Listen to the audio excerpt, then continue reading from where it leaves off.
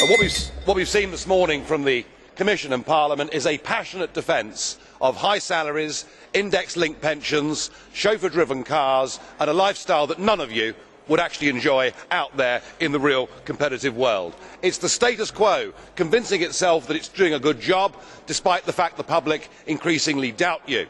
I would remind you that every time taxpayers' money is thrown at common European projects, the results are less than a success. The common fisheries policy and its environmental degradation, and now, of course, the euro, and not just an economic but a social disaster that is engulfing the Mediterranean. And it is all based on a flawed thinking that the state, if it has power and money, can create wealth.